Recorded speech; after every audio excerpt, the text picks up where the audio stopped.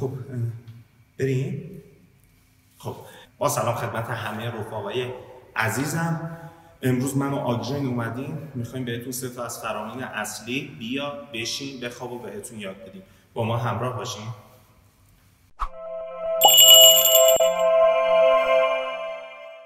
حالا می‌خوام اولین نکته آموزشی و اولین درس رو بهتون یاد بدم. آموزش نشستن. اولین کاری که ما می‌کنیم سعی باید تعقیب غذا رو داشته باشه انگیزش یعنی روی غذا باشه که بتونیم ما حالتهایی که با دستم می‌خوایم به سگمون بدیم و بگیره وقتی که ما سگمون دستمون به سمت بالا که میاد سگ اتوماتیک خودش میشینه. و همینجا ما تاییدش می‌کنیم.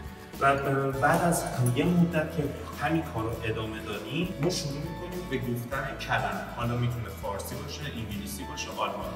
من دارم با آدرین آلمانی کار می‌کنم. نشستن در آلمانی. به معنای زیتس هست آدرین زیتس Yes, good. زیتس Yes, good. بعد مدتی که این کار رو تون انجام بدید سگتون کامل متوجه میشه کلمه معنای زیتس رو. اگر زیت نه. زیتس یس این آموزش نشستن ما هست که حالا بستگی به ترکیب غذا قلبه و گفتار شما. حالا می‌خوام آموزش شماره دو رو بهتون بدم. نحوه آموزش خوابیدن به دوباره همون تحقیق غذا ولی این بار از روی نشستن برای ابتدا از روی نشستن شروع می‌کنیم. یعنی ما نمیایم ابتدا به سگمون یه راست بگیم بخواب یا خواب. اول باید بشونیمش وقتی نشستن یاد گرفت. بعدش آموزش کلمه خواب به چه شکل؟ وقتی سگ داره تغییر غذا رو انجام میده ما همونجوری اول میشونیمش بشین. دستمون به صورت عمودی میاریم لای دو تا دستش یعنی چی؟ یعنی مستقیم عمودش می‌کنیم روی زمین. بخواب؟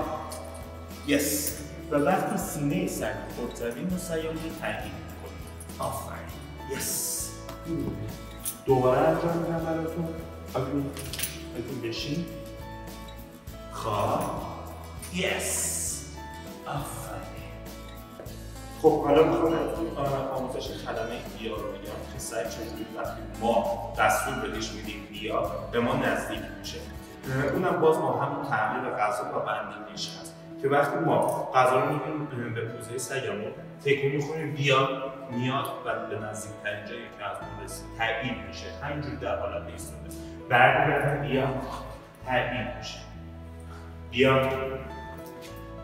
این می‌دونه که وقتی به ما نزدیک هرچی با سرعت بیشتر به ما نزدیک میشه زودتر تبدیل میشه و زودتر به هدفش و آرزوش که غذا هست می‌رسه. رفقا دمتون گرم که این کلیپ من کامل دیدین. ازتون خواهش می‌کنم. لایک کامنت فراموش نشه. برای دوستانتون که سگ دارن حتما بفرستین. دم شما گرم. تا ویدیوی بعدی فعلا.